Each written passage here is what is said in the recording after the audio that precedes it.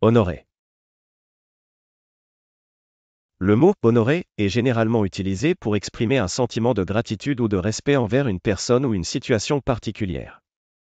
Il peut également signifier qu'une personne a été reconnue pour ses mérites ou ses réalisations. Exemple.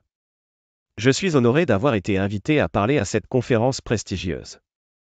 Nous sommes honorés d'avoir reçu cette distinction pour notre travail acharné il était honoré d'avoir été choisi pour représenter son pays aux Jeux olympiques. En tant que citoyen, je me sens honoré de pouvoir participer à ce processus démocratique. J'ai été honoré de travailler aux côtés de mon mentor pendant tant d'années.